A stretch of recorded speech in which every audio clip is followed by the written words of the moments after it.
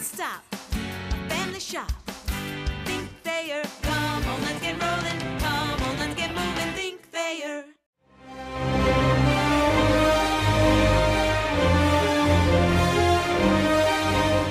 What level like to, to get out here and, and get this thing going? Oh, it's good to be outside, man. There's only so much video you can watch and chalkboard talk and things of that nature. It was, it was, it was great to get out here and watch these kids execute.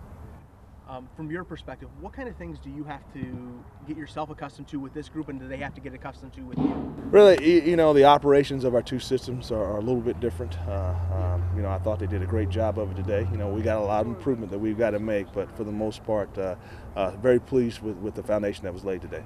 What kind of reaction did you have on your first day getting to see these guys out here? And I know you've seen them around a little bit, but what's your, your reaction to the group that you've inherited now?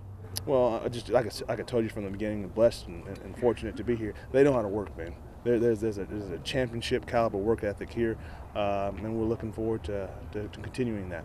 First day, a lot of optimism, no question. But for those of us who have seen the team last year, Matt Johnson gone, Right. Roger Lewis gone, Gehrig Dieter gone. Uh, your thoughts about filling those holes from some pretty Right. high-profile guys? Great, great question. Hey, it's next man up. You know what I mean? Uh, they, they've won for a while here, if I believe last three or four years, and there's always been that next guy there.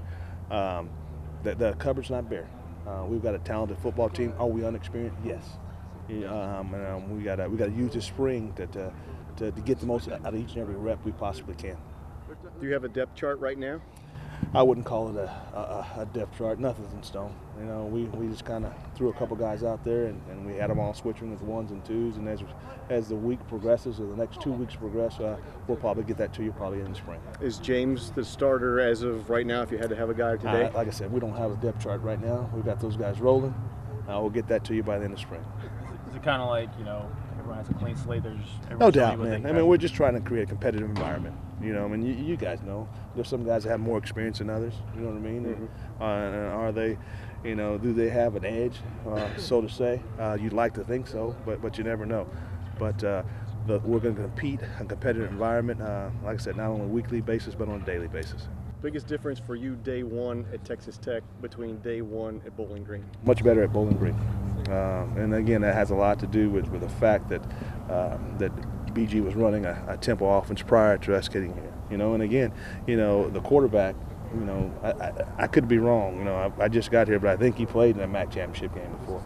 So uh, the operations were fairly smooth. I was excited about it. I'm sure you had a, an, an initial feeling about this team. Do you feel better now that you've seen them, or worse now that you've seen them? hey, pr- pretty much right on par, man. You know, I mean, they, uh, like I told you previously, uh, they know how to work, man, and, and that and that's where it all starts. You know, as long as they've got that right mindset, we'll, we'll be able to, to, to develop and, and continue to improve and, and get the operations of our system down.